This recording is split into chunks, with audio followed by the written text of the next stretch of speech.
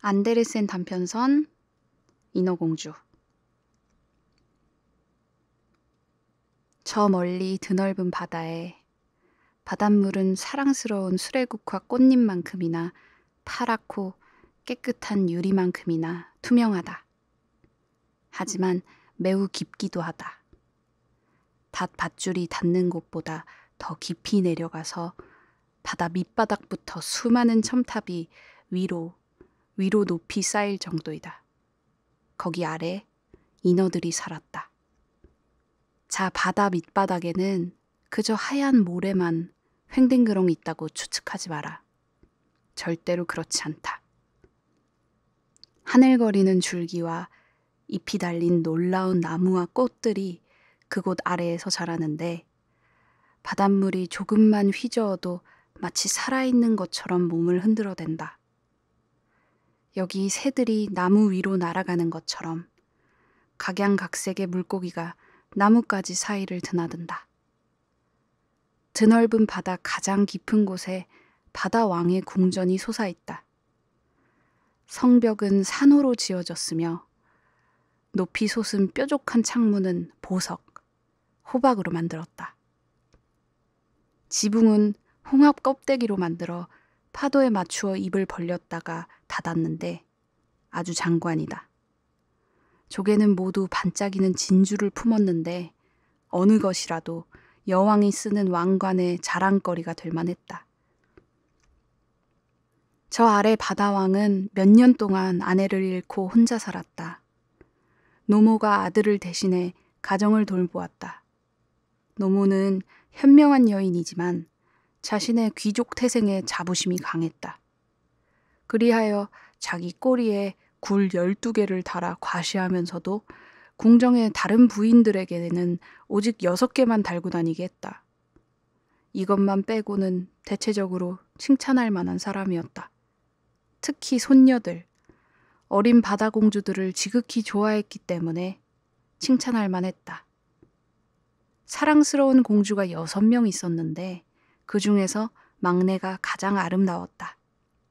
피부는 장미 꽃잎처럼 부드럽고 매끄러웠으며 눈동자는 깊은 바다처럼 파란빛이었다. 하지만 다른 인어들처럼 발이 없었다. 몸끝에 물고기의 꼬리가 달렸다. 낮 내내 공주들은 성 안, 살아있는 꽃들이 벽에서 자라는 저 아래 거대한 홀에서 놀았다. 우리가 창문을 열면 제비들이 우리 방으로 쏜살같이 달려오듯이 높은 호박보석 창문이 열리면 물고기들이 헤엄쳐 안으로 들어갔다. 지금 이 물고기들은 공주들 손에서 먹이를 받아먹고 귀여움을 받으러 곧장 헤엄쳐갔다. 성 밖에는 불꽃처럼 빨갛고 또 깊은 바다색 같은 나무가 자라는 정원이 있다. 나무 열매는 황금처럼 빛나고 꽃은 끊임없이 손짓하는 가지에 붙어서 불꽃처럼 일렁였다. 흙은 정말이지 아주 고운 모래로 불타는 유황처럼 파란빛이었다. 파란 장막이 거기 아래 모든 것에 드리웠다. 여러분은 바다 밑바닥이 아니라 위아래로 온통 파란 하늘만이 있는 높은 곳에 있다고 생각할지도 모른다. 죽은 듯이 고요할 때면 태양을 볼 수 있었는데 태양은 마치 꽃받침에서 흘러나오는 빛을 품은 붉은 꽃과도 같았다. 공주들은 각각 자기들만의 작은 꽃밭이 있어서 땅을 파 좋아하는 꽃을 심었다. 공주 하나는 고래 모양 속에 귀여운 꽃침대를 만들었는데 또 다른 공주는 인어 같은 침대 모양을 만드는 게 더 깔끔하다고 생각했다. 막내는 태양처럼 둥글게 꽃밭을 만들어서 거기에 태양만큼이나 붉은 꽃만 심었다. 막내는 보통 아이와는 다르게 평범하지 않고 차분하고 생각에 잠겨 있었다. 언니들이 자기 꽃밭을 가라앉은 배에서 찾아낸 온갖 이상한 것들로 꾸미고 있을 때, 막내는 태양만큼 붉은 꽃과 예쁜 대리석 동상을 제외하고는 아무것도 가져다 놓지 않았다. 새하얀 대리석에 새긴 잘생긴 소년의 동상은 난파된 배에서 바다 밑바닥으로 가라앉은 것이었다. 막내는 그 동상 옆에 붉은 버드나무를 심었는데 나무는 무척이나 잘 자라서 풍요로운 가지가 동상의 그늘을 들이우고 파란 모래까지 가지를 촉촉 늘어뜨렸다. 나뭇가지가 흔들리면 그림자가 보랏빛을 띄었다. 마치 나무 뿌리와 나뭇가지 끝이 살아서 서로 어울려 놀면서 입을 맞추는 것 같았다. 막내 공주는 위쪽 인간 세상의 이야기를 가장 흥미롭게 들었다. 할머니를 졸라 배와 도시 그리고 사람들과 동물에 대한 이야기를 다 들었다. 가장 근사한 것은 땅 위의 꽃들이 향기롭다는 사실이었다. 바다 밑바닥의 꽃은 향기가 없었다. 숲이 푸르다는 건 멋진 것 같았다. 나뭇가지 사이로 보이는 물고기가 큰 소리로 달콤하게 노래를 부를 수 있어서 사람들이 즐겁게 들을 수 있다는 게 마음에 들었다. 할머니는 작은 새를 모두 물고기라고 불러야 했다. 그렇지 않으면 공주들이 새를 한 번도 본 적이 없었기에 무슨 말을 하고 있는 것인지 알지 못했기 때문이다. 할머니가 말했다. 너희 중 15살이 되는 사람은 바다에 나가 달빛을 받으며 바위 위에 앉아 있어도 된단다. 지나가는 거대한 배를 지켜볼 수도 있어. 숲과 마을도 보게 될 거야. 그리고 다음 해 마지가 15살이 된다. 하지만 다른 공주들, 그러니까 각자 동생들보다 한 살씩 더 먹었으니 막내가 물에서 나가 세상이 어떤지 볼 때까지 5년을 기다려야 했다. 그래도 언니들은 각자 자기들이 본 것을 그리고 첫날 가장 아름답게 찾아낸 것을 전부 다른 공주들에게 들려주기로 약속을 했다. 할머니는 반도 말하지 않았기에 공주들이 간절히 알고 싶은 게 무척이나 많았다. 가장 간절히 바라는 공주는 바로 생각에 잠긴 듯한 막내였다. 여러 날 밤 막내는 창문을 열고 서서 물고기들이 지느러미와 꼬리를 흔들어대는 검푸른 바다를 들여다보았다. 달과 별만 보일 뿐이었다. 확실히 달과 별빛은 꽤 흐릿했다. 하지만 물을 통해 보였기에 우리한테 보이는 것보다 훨씬 크게 보였을 것이다. 구름 같은 그림자가 달과 별을 가로지를 때면 그것이 머리 위로 헤엄치는 고래라든가 많은 사람들을 싣고 가는 배라는 걸 알았다. 저들은 귀여운 어린 인어가 배 바로 아래서 배를 향해 하얀 두 팔을 내밀고 있다는 걸 꿈도 꾸지 못했다. 마지공주가 열다섯 생일을 맞았다. 그래서 이제 물 밖으로 올라갈 수 있는 허락을 받았다. 마지가 돌아왔을 때 동생들에게 들려줄 이야기가 100가지나 되었다. 하지만 그 중에서도 가장 놀라운 건 바다가 잔잔할 때 달빛을 받으며 모래톱에 누워 있는 것이었다. 물가에 불빛 수백 개가 별처럼 반짝거리는 커다란 도시를 보고 음악과 덜거덕거리는 마차와 사람들의 제잘거리는 소리를 듣고 교회의 높은 첨탑을 보고 울려 퍼지는 종소리를 들었다. 도시에 들어설 수 없었기에 그것이 가장 간절했다. 아, 막내 공주가 어찌나 열심히 귀를 기울이는지. 이윽고 공주는 밤에 창문을 열고 서서 검푸른 바다를 들여볼 때까지 딸깍딸깍 떠들썩한 소리가 가득한 거리와 도시를 생각했다. 그러고는 이렇게 깊은 곳까지 교회 종소리가 들린다고 상상하기도 했다. 다음 해에는 둘째 공주가 물 위로 올라가서 어디든 헤엄을 쳐도 좋다는 허락을 받았다. 둘째는 해가 질 때 올라갔다. 일몰은 자신이 본 가장 놀라운 풍경이라고 말했다. 하늘은 황금빛인데 구름으로 말할 것 같으면 그 아름다움을 묘사할 단어를 찾지 못한다고 했다. 붉게 출렁이면서 보랏빛으로 물들며 머리 위로 지나갔다고 했다. 흘러가는 구름보다 훨씬 빠른 백조가 물이 지어 갔다. 백조는 길고 하얀 장막처럼 바다 위로 흔적을 남기며 지는 해를 향해 날아갔다. 둘째 공주도 헤엄쳐 갔지만 해가 지자 그 장밋빛 불꽃도 바다와 하늘에서 전부 사라져 버렸다. 그 다음에는 셋째 공주가 올라갔다. 가장 대담했기에 큰 바다로 흐르는 넓은 강으로 헤엄쳐 올라갔다. 화려한 초록의 언덕이 보였다. 성과 영주의 저택이 화려한 숲 사이로 언뜻 보였다. 새가 노래하는 소리가 들렸다. 해가 어찌나 밝게 반짝이는지 얼굴이 타는 듯 뜨거워져 식히려 종종 물속으로 들어가야 했다. 작은 만에서 유한한 생명의 인간 어린이들이 물속에서 발가벗은 채로 물장구를 치고 있는 모습을 보았다. 아이들과 놀고 싶었지만 아이들은 겁을 집어먹고 달아나 버렸다. 이윽고 자그마한 검은 동물이 왔다. 개였다. 공주는 전에 개를 본 적이 없었다. 개가 셋째 공주를 보고 어찌나 사납게 지저대든지 공주도 겁을 집어먹고 너른 바다로 달아났다. 그래도 그 화려한 숲, 초록 언덕, 비록 지느러미는 없어도 물속에서 헤엄칠 수 있는 예쁜 아이들을 결코 잊을 수가 없었다. 넷째 공주는 그렇게나 모험심은 없었다. 공주는 거친 파도 한가운데 멀리 머물렀었는데 멋진 곳이었다고 말했다. 주위 몇 마일을 볼 수 있고 위 하늘은 거대한 둥근 유리 지붕 같았다. 공주는 배를 보았다. 하지만 너무 멀리 있었기에 갈매기처럼 보였다. 장난치기 좋아하는 돌고래는 공중제비를 하고 어마어마하게 큰 고래는 코로 물을 뿜어댔다. 그래서 마치 수백 개의 분수가 주위에 있는 것 같았다. 이제 다섯째 공주 차례가 되었다. 공주의 생일은 겨울이었기에 다른 언니들이 본 것을 하나도 보지 못했다. 바다는 진 초록색이고 거대한 빙산이 여기저기 둥둥 떠다녔다. 공주는 빙산 하나하나가 진주처럼 빛났다고 말했다. 하지만 빙산은 인간이 지은 교회 첨탑보다 훨씬 높았다. 공주들은 가장 멋진 모양, 그리고 다이아몬드처럼 빛나는 것을 추측했다. 다섯째 공주는 커다란 빙산 위에 앉았는데 항해사들은 공주가 긴 머리를 바람에 흩날리는 모습을 보자마자 겁을 먹고 불이 나게 배를 몰아 지나쳐갔다. 늦은 저녁 구름이 하늘에 가득했다. 천둥이 치고 번개가 하늘을 쏜살같이 오갔다. 시커먼 파도가 거대한 산맥 같은 얼음을 높이 들어 올렸다. 번개가 내리치자 얼음이 번쩍번쩍 빛났다.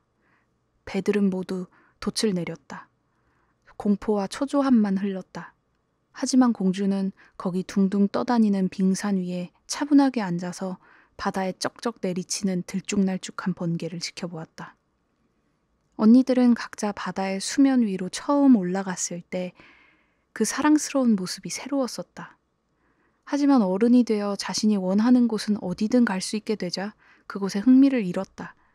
어디를 가든 한 달이 지나면 향수병에 걸려서는 바다 밑과 같은 곳이 없다고 집이 무척이나 편안하다고 말했다. 여러 날 저녁 언니들은 물 위로 올라가 다섯이 한 줄로 서로 팔짱을 끼고 섰다. 다들 유한한 인간보다도 훨씬 더 목소리가 아름다웠다. 폭풍이 불자 공주들은 조난 사고가 있으리라 예상하고 배 앞으로 헤엄쳐 가서 바다 밑이 얼마나 아름다운지 선원들에게 전해져 내려온 편견을 깨기 위해 유혹적으로 노래를 불렀다. 하지만 사람들은 그 노래를 이해하지 못하고 폭풍 소리로 착각했다. 저들은 영광스러운 깊은 바다를 보지 못했다. 배가 가라앉았을 때 사람들은 익사해서 바다 왕의 성에 죽은 인간으로 도착했다. 그날 저녁 인어들은 이처럼 팔짱을 끼고 물 위로 올라왔을 때 막내는 뒤에 혼자 남아 그 죽은 사람들을 돌보며 눈물을 흘리고 싶어 했다. 하지만 인어들은 눈물을 흘리지 않았다. 그래서 훨씬 더 고통스러웠다. 막내가 말했다.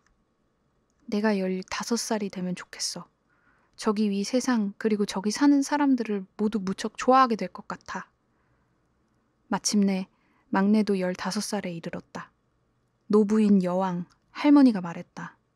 이제 너를 보내주마. 할머니는 어린 공주의 머리카락에 하얀 백합 화관을 씌워주었는데 꽃잎은 진주를 반으로 잘라 만든 것이었다. 그리고 이 노부인은 막내 공주의 꼬리 지느러미에 높은 지위의 표시로 큼지막한 굴 8개를 달라고 했다. 하지만 그거 아프단 말이에요. 막내 공주가 소리쳤다. 치장을 하려면 많이 참아야지. 할머니가 막내 공주에게 말했다. 아, 이런. 장식을 전부 다 털어내고 번거로운 화관을 포기하면 얼마나 좋을까. 꽃밭의 붉은 꽃은 공주에게 훨씬 더 잘 어울렸다. 하지만 굳이 바꾸지는 않았다. 안녕. 막내 공주는 그렇게 인사하고는 바다를 헤치고 거품처럼 빛을 내며 가볍게 위로 올라갔다. 수면 위로 머리를 내밀었을 때 태양이 막 사라졌다. 하지만 구름은 여전히 황금과 장미처럼 빛나고 섬세하게 물든 하늘에는 저녁별이 투명하게 빛났다. 공기는 온화하고 신선하며 바다는 잔잔했다. 돛이 세개 달린 거대한 배가 눈에 들어왔다. 바람이 부드럽게 불어와 돛을 하나만 폈다. 선원들은 삭구 안이나 활대에 기대어 빈둥거렸다. 배에서는 음악과 노래가 흘러나왔다. 밤이 내리자 선원들은 엄청나게 밝은 수백 개의 불을 밝혔는데 누군가는 망국기가 허공에 흔들리고 있다고 생각했을 것이다. 사랑스러운 인어공주는 가장 큰 선실 창문까지 바짝 헤엄쳐 갔다. 몸이 바닷물 위로 출렁일 때마다 유리 창문으로 그 안에 화려하게 차려입은 사람들 무리를 들여다볼 수 있었다. 그 중에서 가장 눈에 띄는 사람은 커다란 검은색 눈동자를 가진 젊은 왕자였다. 16살 정도 되어 보였다. 왕자의 생일이었기에 축하를 하는 자리였다. 가판 위 선원들이 춤을 추는데 왕자가 선원 사이로 나타나자 100개가 넘는 불꽃이 허공으로 날아올라 대낮처럼 밝게 비추었다. 그 불꽃에 공주는 몹시도 놀라서 물속으로 얼른 몸을 숨겼다. 하지만 곧 다시 빼꼼 올려다보았다. 하늘의 별들이 모두 공주에게 떨어지는 듯 했다. 저런 불꽃을 본 적이 없었다. 큰 해가 여러 개 빙글 돌고 화려한 불꽃 물고기가 파란 하늘을 둥둥 떠다녔다. 이런 것들은 모두 크리스탈 같은 투명한 바다의 거울처럼 비추었다. 어찌나 밝은지 배의 작은 밧줄도 다 볼 수 있고 사람들도 선명하게 보였다. 아, 젊은 왕자는 어찌나 잘생겼는지 왕자가 웃었다. 미소 지으며 사람들과 악수를 나누고 그 사이 음악은 완벽한 저녁 속으로 울려 퍼졌다. 시간이 꽤 늦었지만 사랑스러운 인어공주는 배하고 그 잘생긴 왕자한테서 눈을 뗄 수가 없었다. 알록달록 밝게 빛나는 초롱불이 꺼지고 불꽃도 하늘을 날아다니지 않고 폭죽도 더 이상 터지지 않았다. 하지만 바닷속 깊은 곳에서 우르르 쾅쾅 소리가 들려왔다. 물살이 계속 인어를 높이 튀어 올라가게 해서 인어는 그 선실 안을 들여다볼 수 있었다. 이제 배는 나아가기 시작했다. 바람 속에 돛이 하나, 둘, 활짝 펴지고 파도가 높이 솟고 거대한 구름이 모여들며 번개가 멀리서 번쩍였다. 아, 배는 끔찍한 폭풍을 만났다. 뱃사람들은 서둘러 돛을 내렸다. 높다란 배가 성남 바다를 헤치며 속도를 내자 이 커다란 배는 튀어 올랐다가 뒹굴었다. 파도는 마치 돛을 부서뜨릴 듯 시커먼 산처럼 높이 일었다. 하지만 배는 백조처럼 거대한 파도 사이로 떨어져 내렸다가 다시 높이 솟아올랐다. 인어공주에게는 이것이 썩 괜찮은 놀이처럼 보였지만 선원에게는 전혀 그렇지 못했다. 배는 와지끈 갈라지고 굵은 나무가 쿵 하고 떨어져 내렸다. 파도가 배를 내리쳐 돛이 갈대처럼 두 개로 부서졌다. 배는 옆으로 기울어 물이 짐칸까지 쳐들어왔다. 이제 인어공주는 사람들이 위험에 빠진 것을 알았다. 자신도 바다에 이리저리 떠다니는 나무와 판자를 피해야 했다. 한순간 어두워져서 공주는 아무것도 볼 수가 없었다. 다음 순간 번개가 무척이나 환하게 내리쳐서 배 위에 모두를 구별할 수가 있었다. 모두가 최선을 다해 살궁리를 했다. 공주는 그 젊은 왕자를 찾아서 가까이 가 지켜보았다. 배가 두 동강이나 왕자가 바닷속으로 가라앉는 모습이 보였다. 처음 공주는 왕자가 자신과 같이 있어서 너무 기뻤다. 그러다 문득 인간은 물 속에서 살 수 없으며 아버지의 성에 죽은 시체로 도착할 것이라는 사실이 떠올랐다. 안 돼. 이 남자는 죽으면 안 된다. 그래서 공주는 둥둥 떠다니는 나무 판자 기둥이 자신에게 부딪힐지도 모른다는 것을 완전히 잊고 그 사이로 헤엄쳐 갔다. 파도 속으로 들어가 물마루를 타면서 마침내 그 젊은 왕자에게 다가갔다. 왕자는 그 성난 바다에서 더 이상 헤엄칠 수가 없었다. 팔다리에 기운이 빠지고 아름다운 눈동자는 굳게 닫혀서 공주가 도와주러 오지 않았다면 죽었을 것이다. 공주는 물 밖으로 왕자의 머리를 올리고 파도가 가는 곳으로 몸을 맡겼다. 날이 밝자 폭풍은 잦아들고 배의 흔적은 눈에 보이지도 않았다. 태양이 수면 위로 붉고 환하게 솟아오르며 왕자의 뺨에 생기를 불어넣었다. 그래도 왕자는 여전히 눈을 감고 있었다. 공주는 반듯한 왕자의 이마에 입을 맞추었다. 젖은 머리카락을 뒤로 쓸어 넘기자 공주에게는 자신의 작은 꽃밭에 있는 그 대리석 동상처럼 보였다.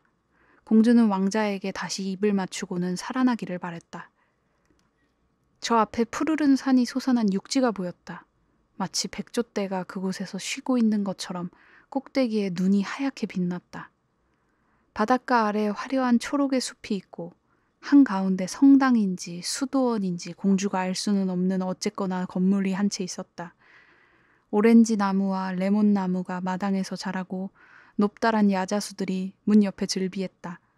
여기 바다는 작은 항구를 이루고 퍽 조용하고 매우 깊었다. 고운 하얀 모래가 절벽 아래로 쓸려 내려왔다.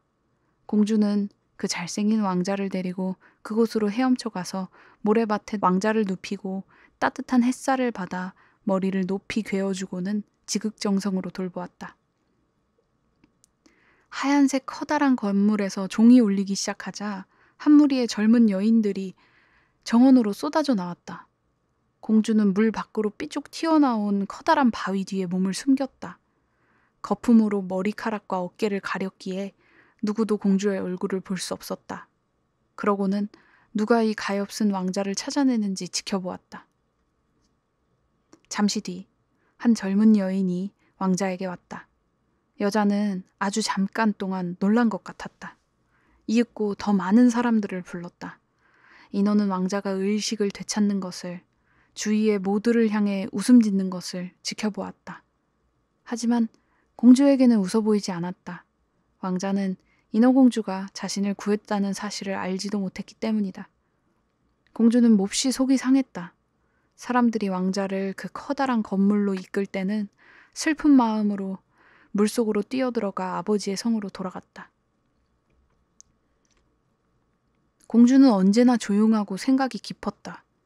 하지만 지금 훨씬 더 말이 없이 생각에 잠겼다. 언니들은 물 위로 처음 올라가서 무엇을 보았느냐고 물었지만 막내 공주는 말하지 않았다. 여러 날 저녁, 그리고 여러 날 아침. 공주는 그 왕자를 떠나보냈던 곳에 다시 가보았다. 정원에 잘 익어 추수를 마친 과일을 보고 높은 산에 눈이 녹는 것도 보았지만 그 왕자는 보지 못했다. 그래서 집으로 돌아올 때는 떠날 때보다 더 마음이 슬펐다. 그 작은 정원에 앉아서 왕자처럼 보이는 그 아름다운 대리석 동상을 감싸 안는 것이 공주에게는 하나의 위안이었다. 하지만 이제 꽃을 돌보지 않았다. 꽃은 함부로 길까지 뻗어가서 그곳은 황무지가 되었다. 기다란 줄기와 나뭇잎은 나뭇가지에 마구 엉켜서 우울한 그림자를 던졌다.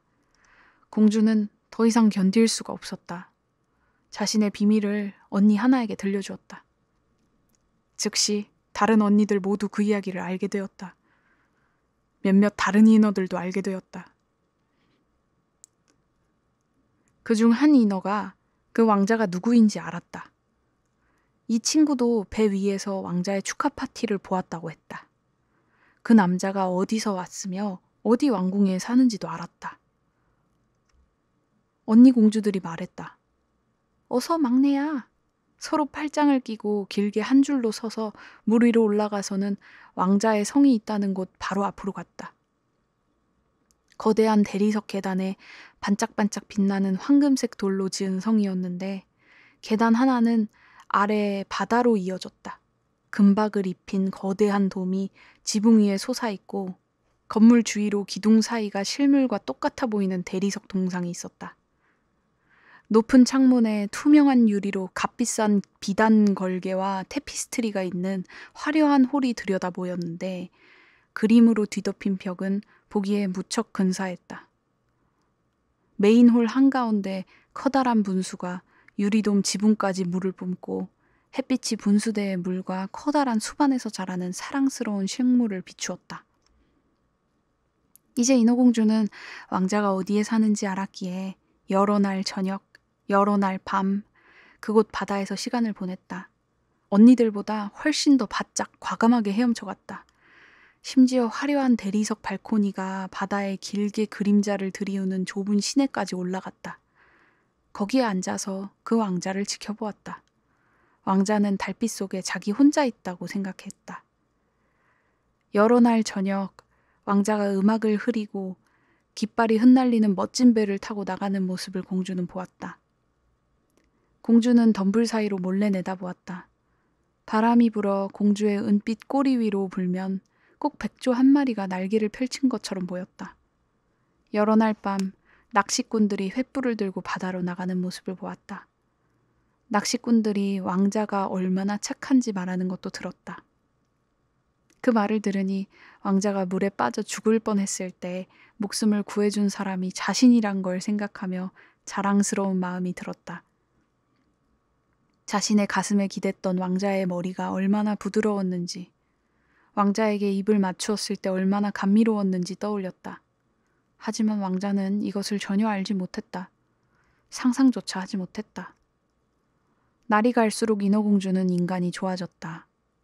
그리고 점점 더 인간들과 더불어 살고 싶은 마음이 간절했다. 인간 세상은 인어 세상보다 더 넓은 것 같았다.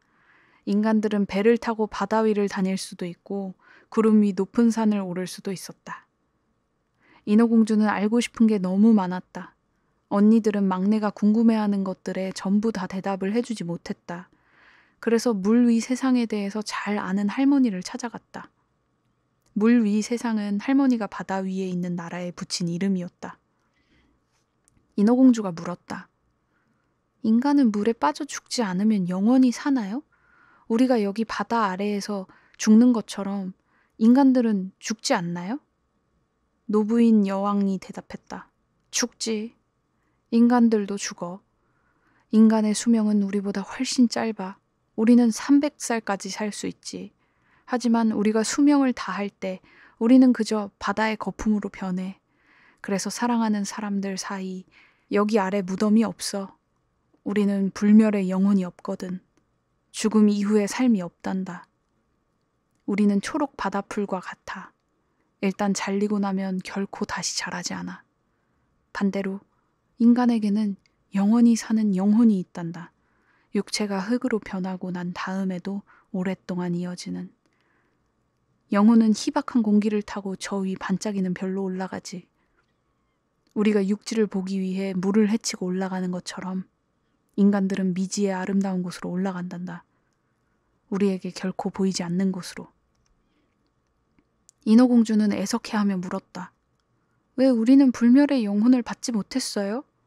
단 하루라도 인간이 될 수 있다면, 나중에 그 천사의 왕국에서 함께 할 수 있다면, 내 300년을 기꺼이 포기할 거예요. 할머니가 말했다. 그렇게 생각하면 안 돼. 우리는 저기 위 사람들보다 훨씬 더 행복하게 지내고 훨씬 더 잘 살고 있어. 그러면 나도 죽어서 바다의 거품처럼 둥둥 떠다녀야 해요? 음악과 같은 파도를 듣지 못하고 아름다운 꽃, 붉은 태양을 보지 못하고요? 불멸의 영혼을 얻기 위해서 내가 할 수 있는 게 아무것도 없어요? 없어. 인간이 너를 무척 사랑해서 그 사람에게 네가 부모보다 더 큰 의미라면 그 남자의 모든 생각과 심장이 모두 너와 하나가 되어서 사제가 그 사람의 오른손과 네 손을 맞잡게 하고 충직과 영혼을 약속하게 한다면 그러면 그 사람의 영혼이 네 몸으로 스며들어 갈 거야. 그러면 너는 인간의 행복을 함께 할 거야.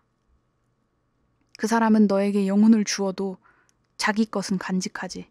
하지만 그런 일은 결코 쉽게 이루어지지 않아. 여기 바다에서 그렇게나 아름다운 네 지느러미를 땅에서는 흉측하다고 여긴단다. 그곳 취향은 어설퍼서 너한테는 사람들이 달이라고 부르는 어색한 소품이 있어야 돼. 할머니가 대답했다. 인어공주는 한숨을 푹 내쉬며 자기 지느러미를 불만스럽게 쳐다보았다. 어서 우리 기운 내자. 우리가 살 300년 내내 펄펄 뛰어다니자. 확실히 그걸 함께 나누는 게 중요하지. 그러고 나서 나중에 평화롭게 쉬게 될 거란다. 우리는 오늘 저녁에 궁중 무도회를 열 거란다. 할머니가 말했다.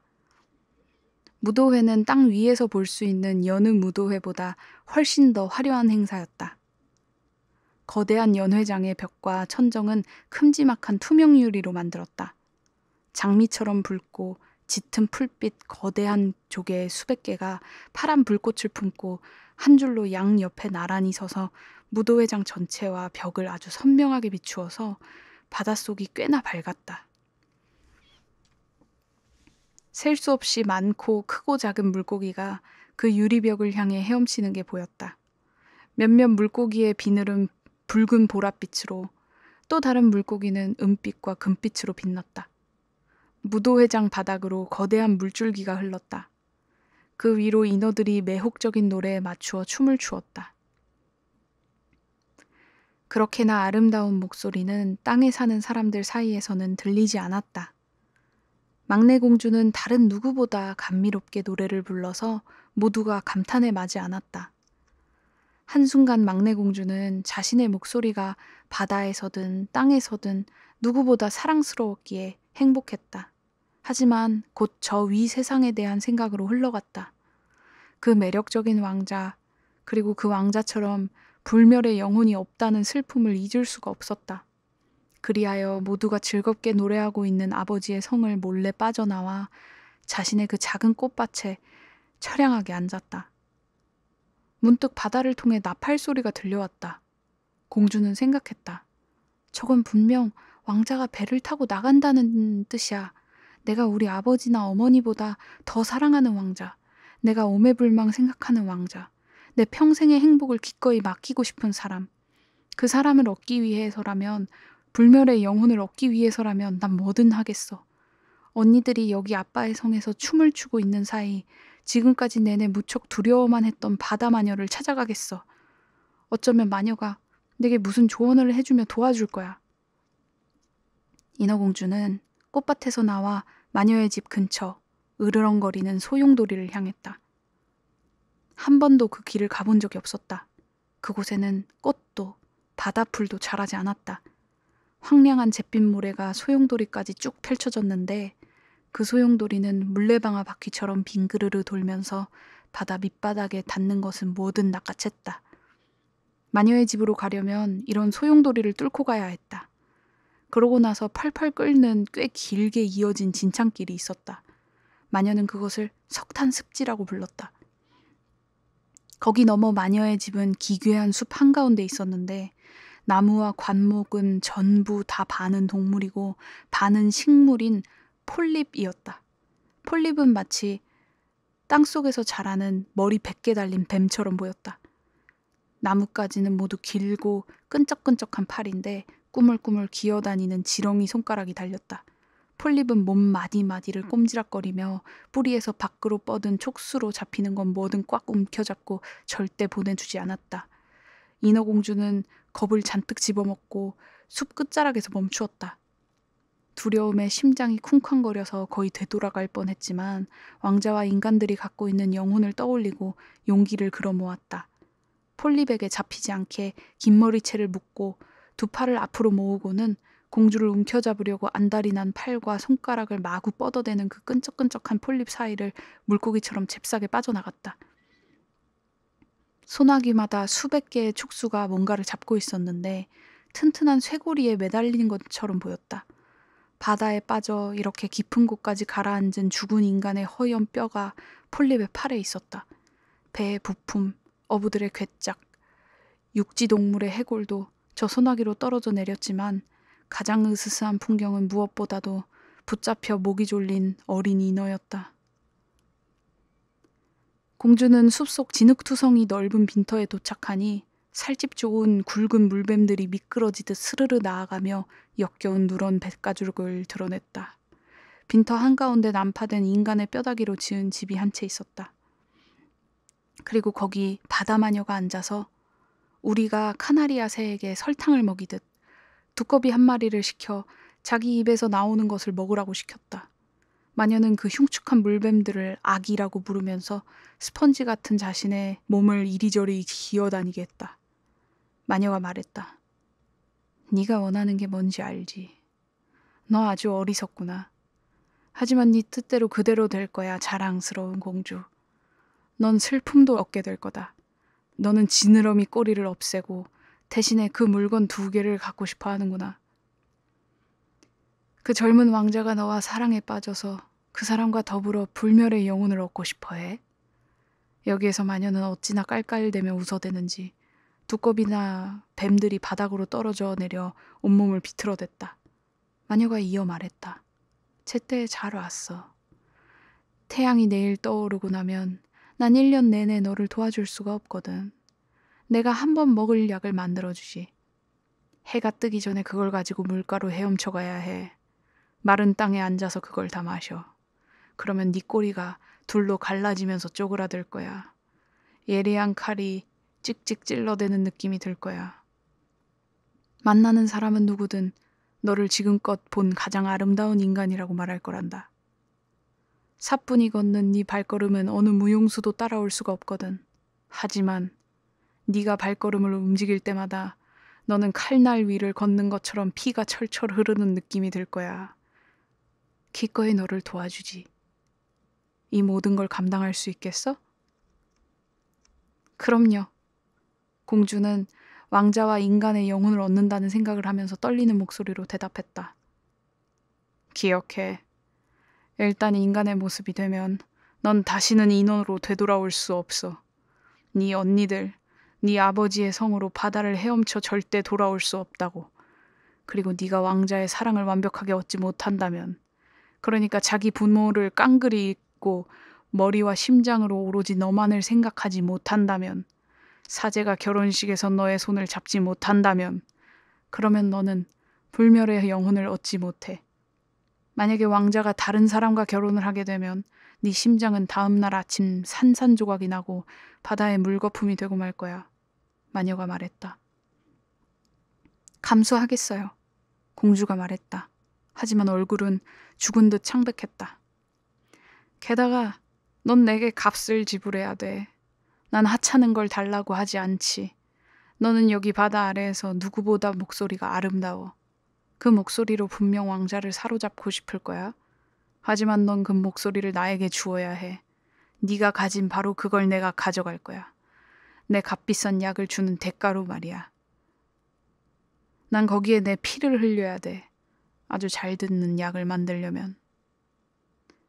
하지만 내 목소리를 가져가면 나한테 뭐가 남죠? 네 아름다운 모습, 미끄러질 듯 걷는 발걸음, 초롱초롱한 눈동자, 이런 것들로 넌 왕자의 마음을 쉽사리 사로잡을 거야. 흠, 용기가 사라졌나? 혀를 쑥 내밀어. 그러면 내가 싹둑 잘 나갈 테니까. 난 내 대가를 갖고 너는 잘 듣는 약을 갖게 될 거야. 어서 해요. 마녀는 불 위에 가마솥을 걸고 약을 끓였다. 깨끗한 게 좋지. 마녀는 그렇게 말하며 뱀을 둘둘 말아서 그곳으로 단지를 쓱쓱 문질렀다. 그러고는 가슴을 쿡 찔러서 시커먼 피를 그 가마솥 안에 후두둑 떨어뜨렸다. 그 안에서 연기가 으스스하게 피어올라서 그 모습만으로도 공포로 얼어붙을 것 같았다. 마녀는 끊임없이 새로운 재료를 가마솥에 던져 넣었다.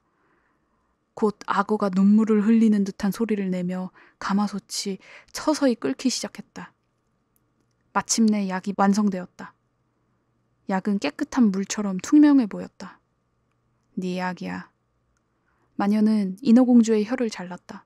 공주는 더 이상 말을 할 수도 없었다. 노래도 이야기도 할 수 없었다. 네가 내 숲을 돌아 나갈 때 폴립들이 너한테 덤벼들 거야. 이걸 녀석들한테 한 방울만 떨어뜨려. 그러면 촉수가 수천 갈래로 갈라질 테니까. 하지만 그럴 필요가 없었다. 폴립들은 그 약을 보자마자 놀라서 몸을 말았다. 약은 빛나는 별처럼 공주의 손에서 빛을 냈다. 그래서 공주는 금세 그 숲, 습지, 그리고 으르렁대는 소용돌이를 빠져나갔다. 아버지의 성이 보였다. 연회장의 불은 이미 꺼졌다. 분명 성에 있는 모두가 잠이 든 게 틀림없었다. 하지만 공주는 차마 근처에 가지 못했다. 이제 말을 할 수 없게 된 채 영원히 고향을 떠날 것이다. 심장이 슬픔으로 부서질 것 같았다. 살금살금 꽃밭에 가서 언니들의 꽃을 하나씩 따서 성을 향해 수없이 입맞춤을 보냈다. 이윽고 검푸른 바다를 헤치고 위로 올라갔다. 왕자의 성에 도착했을 때 태양은 아직 떠오르지 않았다. 그 화려한 대리석 계단을 올라갈 때 달이 환하게 비추고 있었다. 공주는 그 쓰디쓴 약을 꿀꺽 삼켰다. 약은 양날의 칼처럼 가녀린 몸을 내리치는 것 같았다. 공주는 정신을 잃고 죽은 듯이 그곳에 쓰러졌다. 태양이 바다 위에 떠오르자 찌를 듯한 고통을 느끼며 깨어났다. 하지만 공주 바로 앞에 그 잘생긴 왕자가 칠흑 같은 눈동자로 공주를 내려다보고 있었다. 공주는 고개를 숙여 꼬리가 사라진 것을 보았다. 젊은 연인들이 바라는 사랑스러운 하얀 다리가 달려 있었다. 하지만 발가벗은 채였기에 자신의 긴 머리로 몸을 감쌌다. 왕자는 누구냐고 이곳에 어찌하여 왔냐고 물었다. 공주는 말을 할 수 없었기에 그 짙은 파란 눈동자로 부드럽지만 몹시 슬프게 왕자를 쳐다보았다. 문득 왕자는 공주의 손을 잡고 성 안으로 이끌어 주었다. 발걸음을 옮길 때마다 예리한 칼끝을 걷는 것 같았다. 마녀가 미리 알려준 그대로였다. 하지만 공주는 기꺼이 참아냈다. 왕자의 옆을 걸으면서 거품처럼 가볍게 움직였다. 왕자와 공주를 본 모두가 그 우아하게 걷는 모습에 놀라워했다. 성에서 내준 실크와 모슬린 의상을 입자 공주는 이 성에서 가장 아름다웠다. 하지만 공주는 말을 할 수도 노래를 부를 수도 없었다. 실크와 황금빛 옷을 입은 아름다운 여자 무희들이 와서 왕자와 왕자의 부모님 앞에서 노래를 불렀다. 그 중 하나가 누구보다 노래를 잘 부르자 왕자는 그 여자를 향해 웃으며 손뼉을 쳤다. 공주는 몹시도 슬펐다. 자신이 훨씬 더 아름답게 부르곤 했다는 걸 알기 때문이다. 당신과 함께 있기 위해서 내가 내 목소리와 영원히 헤어졌다는 것을 당신이 안다면 공주는 생각했다. 우아한 무희들이 이제 가장 아름다운 음악에 맞추어 춤을 추기 시작했다. 문득 공주는 하얀 팔을 들고는 발끝으로 일어서 앞으로 걸어 나갔다. 누구도 그렇게나 춤을 잘 추지는 못했다. 그녀의 발걸음을 움직일 때마다 더 아름답게 춤추며 그 어떤 무희보다 눈으로 가슴을 향해 깊이 말했다. 모두가 공주에게 넋을 잃고 말았다. 특히 왕자가 그랬다. 왕자는 공주를 길에서 찾은 사랑스러운 여인이라고 불렀다. 공주는 몇 번이고 다시 춤을 추었다. 하지만 바닥에 발이 닿을 때마다 예리한 쇠붙이 위를 걷는 것 같았다. 왕자는 언제나 공주를 곁에 두겠다고 말했다. 그러면서 문 밖에서 자도 좋다면서 벨벳 이불을 내주었다. 왕자는 공주에게 시종의 옷을 만들어 주어서 공주는 말을 타고 왕자와 함께 나갈 수 있었다. 둘은 향기로운 숲을 달리곤 했다. 초록가지가 인어공주의 어깨를 스치고 작은 새들이 나풀거리는 나뭇잎 사이로 노래를 불렀다. 공주와 왕자는 함께 높은 산으로 올라갔다. 그 부드러운 발에는 눈에 띄게 피가 흘렀지만 그저 웃으며 왕자를 따라 올라가서 구름이 새무리처럼 저 먼 땅으로 내려가는 모습을 내려다보았다. 왕자의 궁전에서 모두가 밤에 잠들었을 때 공주는 그 넓은 대리석 계단을 내려가 차가운 바닷물에 불을 댄 것 같은 발을 식혔다. 그러고 나서 바다 아래 사는 이들을 떠올렸다. 어느 날 밤 언니들이 팔짱을 끼고 바다에 올라와 슬프게 노래를 부르고 있었다.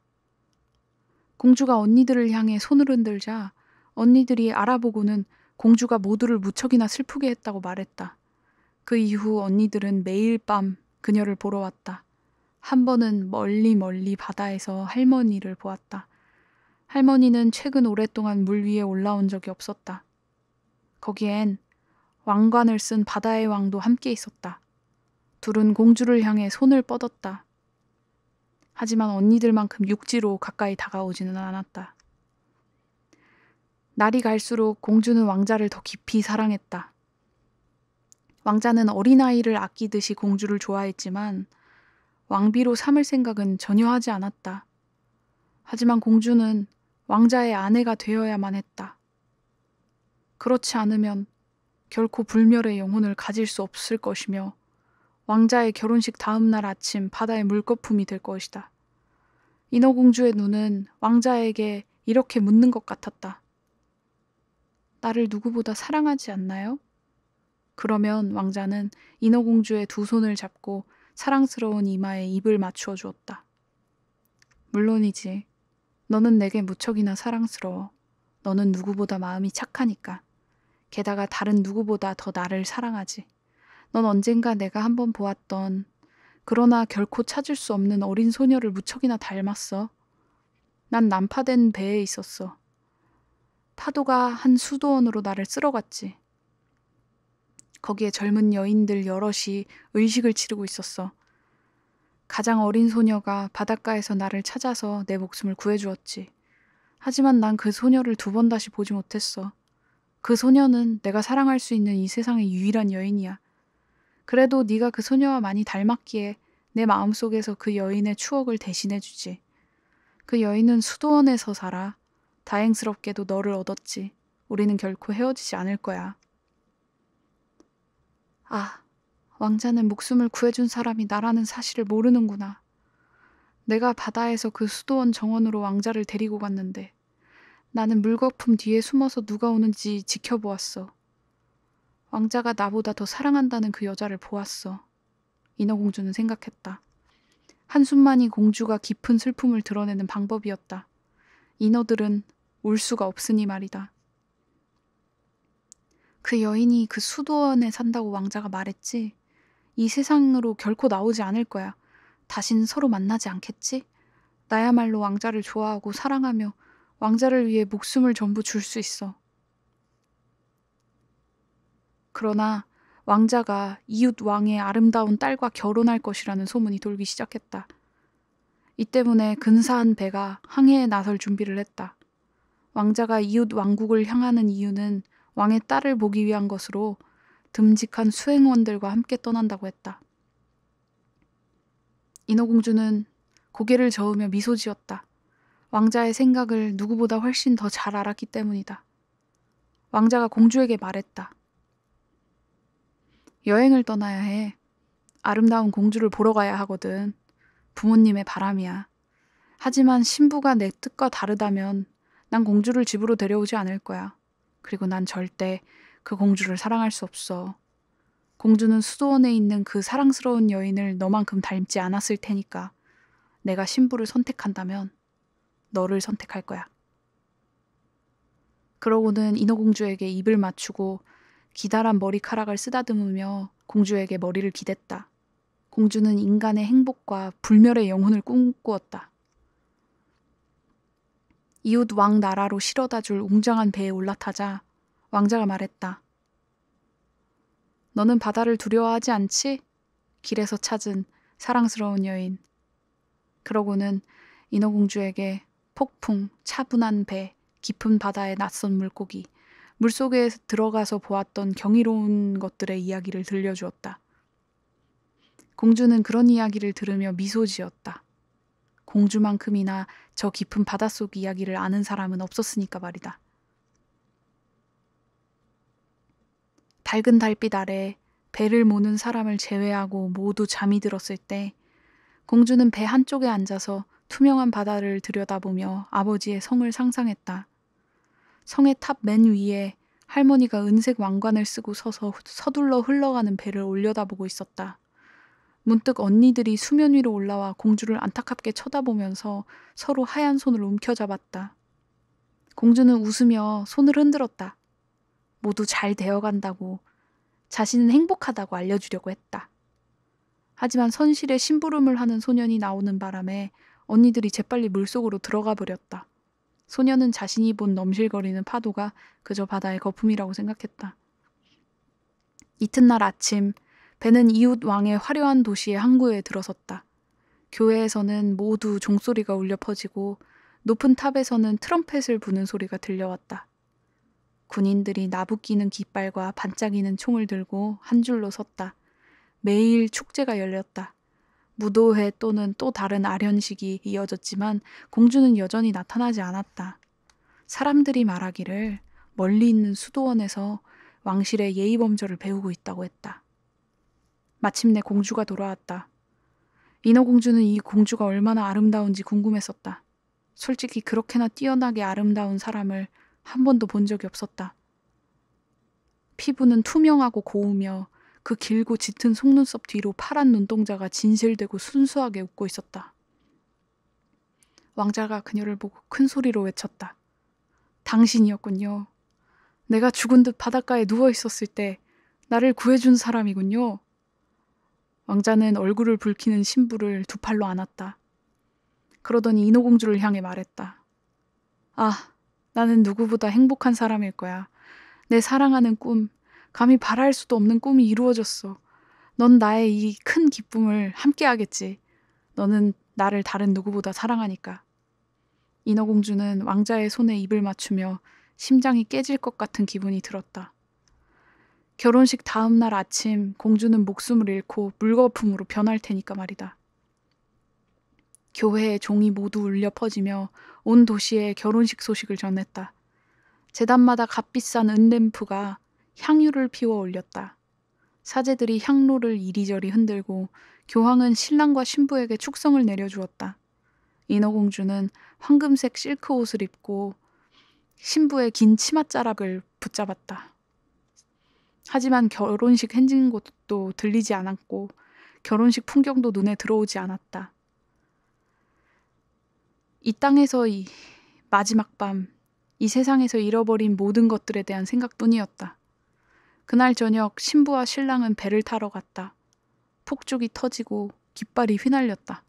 배 갑판 위에 보라색과 황금색 왕실 천막이 차려지고 우아한 잠자리가 마련되었다. 고요하고 맑은 밤, 신혼부부는 여기서 잠을 잘 것이다. 배는 산들바람을 타고 미끄러지듯 가볍게 지나가서 조용한 바다 위에서 거의 움직이지도 않는 것처럼 보였다. 해질녘 오색 찬란한 색색등이 켜지자 뱃사람들은 갑판 위에서 춤을 추었다. 인어공주는 깊은 바다에서 처음으로 올라왔을 때 보았던 그 흥겨운 모습이 떠올랐다. 인어공주는 먹이를 쫓는 제비처럼 함께 어울려 춤을 추었다. 모두가 인어공주에게 박수를 보냈다. 실로 인어공주가 그렇게나 멋지게 춤을 춘 적이 없기 때문이었다. 단검이 연약한 발을 찌르는 듯 했지만 애써 모르는 채 했다. 심장이 훨씬 더 큰 고통으로 아팠다. 자신의 사랑스러운 목소리를 아낌없이 버리고 끊임없는 고통을 감내했던 왕자를 보는 마지막 저녁이라는 것을 알았다. 반면 왕자는 이런 것들을 하나도 몰랐다. 인어공주에게는 왕자와 같은 공기를 숨쉬고 깊은 바다를 내려다보고 파란 하늘에 무수한 밤을 올려다보는 마지막 밤이었다. 생각도 할 수 없고 꿈도 꿀 수 없는 영혼과도 같은 밤이 인어공주를 기다리고 있었다. 공주는 영혼이 없으며 영혼을 가질 수도 없다. 한밤이 지나도록 잔치가 이어졌다. 하지만 공주는 마음에 들이운 죽음의 생각을 잊고 웃으며 춤을 추었다. 왕자는 아름다운 신부에게 입을 맞추고 신부는 왕자의 칠흑처럼 검은 머리카락을 어루만졌다. 두 사람은 손에 손을 잡고 그 웅장한 천막 안으로 쉬러 들어갔다. 배 위로 침묵이 내려앉았다. 배를 모는 키잡이만 갑판에 남았다. 인어공주는 벽에 기대어 서서 여명이 밝아오는 것을 보았다. 첫 여명이 비치자마자 자신이 죽으리라는 걸 알았다. 문득 넘실거리는 파도 사위로 언니들이 동시로 올라왔다. 언니들은 막내 공주만큼이나 창백했다. 산들바람이 비껴주던 길고 사랑스러운 머리카락이 보이지 않았다. 전부 잘려나갔다. 우리 머리카락을 마녀에게 주었어. 너를 도와줄 방법을 얻으려고. 오늘 밤 네 목숨을 구해. 마녀가 우리에게 칼을 줬어. 이 날카로운 칼날을 봐. 해가 뜨기 전에 넌 왕자의 심장에 이걸 꽂아야 해. 왕자의 뜨거운 피가 네 발을 적시면 발이 다시 하나가 되어 지느러미로 변할 거야. 그러면 너는 다시 인어가 되어서 바닷속 우리한테 돌아올 수 있어. 죽어서 짠 바다의 거품이 될 때까지 300년을 더 살 수 있다고 서둘러. 왕자든 너든 해가 뜨기 전에 죽어야 해. 할머니는 슬픔에 빠져 하얀 머리카락이 계속 빠지고 있어. 꼭 마녀가 가위로 잘라버린 우리 머리카락 같이. 왕자를 죽여. 그리고 우리한테 돌아와. 서둘러. 하늘에 저 빨간 기운을 봐. 몇 분 있으면 태양이 떠오르고 넌 죽게 된단 말이야. 그렇게 말하며 언니들은 깊은 한숨을 토해내고는 파도 아래로 가라앉았다. 인어공주는 보라색 천막을 열었다. 아름다운 공주가 왕자의 가슴팍에 머리를 얹고 잠이 들었다. 인어공주는 허리를 숙여 왕자의 이마에 입을 맞추었다. 서둘러 하루를 열기 위해 붉게 빛나고 있는 하늘을 보았다. 날카로운 칼을 들고 왕자를 향해 눈을 돌렸다. 왕자는 자면서 신부의 이름을 중얼거렸다. 온통 신부 생각뿐이었다. 인어공주의 손에 든 칼날이 바르르 떨렸다. 그러다 문득 공주는 칼을 저 멀리 바다 위로 던져버렸다. 칼이 바닷속에 풍덩 빠진 자리가 마치 부글부글 끓듯 피처럼 붉어졌다. 인어공주는 이미 흐릿해진 눈으로 한 번 더 왕자를 보고는 밖으로 물러나와 바다에 몸을 날렸다. 몸이 거품으로 녹아드는 느낌이었다. 태양이 떠올라 햇빛이 따스하고 부드럽게 그 서늘한 바다 거품을 비추었다. 인어공주는 죽음의 손길을 느끼지 못했다. 머리 위로 비추는 환한 햇빛 속에서 투명하고 아름다운 생명체가 둥둥 떠다니는 게 보였다. 무척이나 투명해서 배의 하얀 돛과 하늘의 붉은 구름이 들여다 보였다. 목소리는 음악과도 같아서 지상의 눈이 인어들의 거품을 볼 수 없는 것처럼 인간의 귀로는 그 소리를 쫓을 수가 없었다. 날개도 없이 이들은 공기만큼이나 가볍게 떠다녔다. 인어공주는 자신이 저들과 같은 모양이라는 것을 깨달았다. 점점 거품에서 빠져나와 위로 올라가고 있었다. 누구세요? 내가 어디로 가는 거죠? 인어공주가 물었다. 목소리가 위에서 들리는 것 같았다. 무척이나 신비해서 지상의 음악과는 도무지 어울리지 않았다. 우리는 공기의 딸들이란다. 인어는 불멸의 영혼이 없어서 인간의 사랑을 얻지 못하면 영혼을 가질 수 없어. 인어의 영원한 생명은 몸 밖의 힘에 달렸지. 공기의 딸들도 불멸의 영혼이 없어. 하지만 착한 행동을 하면 얻을 수 있지. 우리는 남쪽으로 날아가. 우리가 차가운 바람을 불어주지 않으면 그곳에 독약과도 같은 뜨거운 공기가 인간을 죽이거든. 우리는 가는 곳마다 신선함과 치유의 밤을 주는 꽃향기를 공기에 실어간단다. 300년 동안 최선을 다해 좋은 일을 하면 우리는 불멸의 영혼과 인간의 영원한 은총을 나누어 받아. 너, 가엾은 인어야. 너도 이것을 위해 온 마음 다 바쳐 노력했어. 너의 고통이 충실함이 하늘 높은 영혼의 왕국으로 너를 들여 올렸어. 이제 300년 동안 성한 행동을 하면 절대 죽지 않을 영혼을 얻게 될 거야. 인어공주는 투명하고 밝은 눈을 신의 태양을 향해 들어 올렸다. 처음으로 눈에 눈물이 고였다. 배 위는 서서히 활기를 띠며 다시 생기가 돌았다. 왕자와 그 아름다운 신부가 자신을 찾는 것이 보였다. 둘은 슬프게도 그 부글부글 끓는 거품을 쳐다보았다. 마치 인어공주가 바닷속으로 몸을 던진 사실을 아는 것 같았다. 두 사람에게 보이지 않게 인어공주는 신부의 이마에 입을 맞추고 왕자에게 미소를 보내고는 높이 흘러가는 장밋빛 구름으로 공기의 딸들과 함께 올라갔다. 끝입니다.